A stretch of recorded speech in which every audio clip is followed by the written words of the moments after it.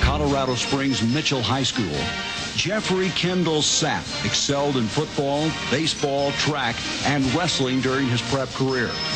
Among his many accomplishments, Sapp was a state champion wrestling and garnered all-state honors in football. Sapp's accomplishments, both in the classroom and on the field of play, generated scholarship offers from more than 60 colleges and universities.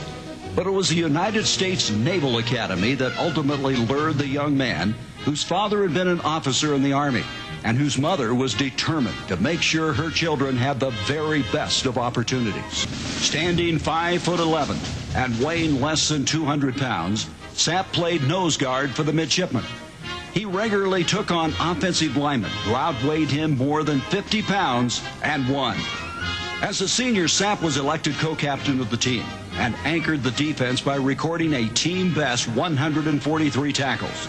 He was described by Navy head coach George Welsh as the best defensive middle guard in the nation, an assessment quickly supported by other coaches, including the Air Force. Anchors Aweigh, the history of Navy football, presented by the Military Channel.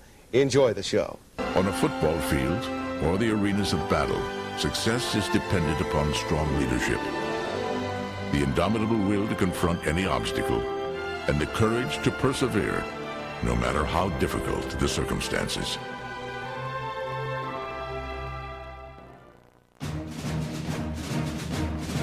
One man who mastered the art of beating Army was the winningest coach in Navy football history.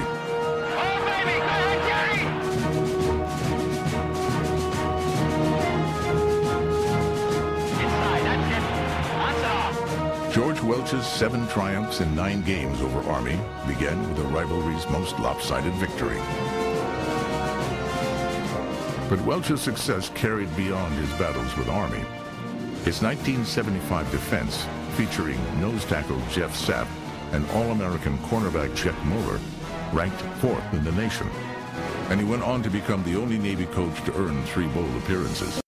I didn't want to be here. I tried to leave on three different occasions. I did, it was too tough, too regimented, and it was just hard. When I graduated, I said, I'm never, ever going to come back here. But it's a funny thing with time. Suddenly you realize everything had a purpose. And, and if you trace it all the way back, it starts on the football field. Different people with different philosophies, different goals, melded together happily in a game of sport. Among the Saturday heroes you're about to meet, a defensive lineman at the Naval Academy who still doesn't know he may be too small to play in the defensive line. When the middies of Navy send their defensive football team onto the field, it's hard to miss number 61. His name is Jeff Sapp, 5'11", 203 pounds. We had a tough time finding a position for Jeff Sapp when he first came here because we didn't know much about him. Uh, it's, it's, an unusual situation in that uh, he was an outstanding athlete, but uh, we didn't know what kind of an athlete we were getting when, when he came here. He did a great job for us last year. It was, uh, was not unusual for him to dominate the game by himself in a lot of ways, where he'd make upwards of 10, 15 tackles in one particular Saturday afternoon. He runs better than a 4.6 40, which is faster than all of our backs, than any of our backs right now. And he has great instincts. Strong and tough, quick with great instincts, and he's just a natural, and I don't think there's a better middle guard in the country than Jeff Sapp right now. He went on to college and played nose guard for Annapolis for Navy and probably never weighed more than 205 pounds. That just doesn't happen. But he did it, and he did it very well. I know one time Jeff said that they played Notre Dame, and I think he had like 17 unassisted tackles against Notre Dame. Now, you know Notre Dame's offensive linemen are big, strong guys, but they couldn't block him. He earned All America honors, received the Naval Academy's prestigious Silver Helmet Award, and played in the 1976 Japan Bowl. During his distinguished career at Navy, Sapp helped lead the Middies to wins against national powers such as Pittsburgh and Miami, and emotional victories over Service Academy rivals Army and Air Force.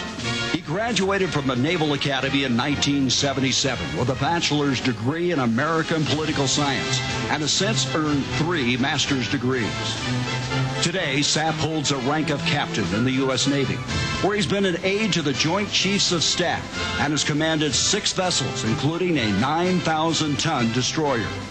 Sapp is also an accomplished motivational speaker and spends a great deal of time talking to young people about leadership, determination, and personal character.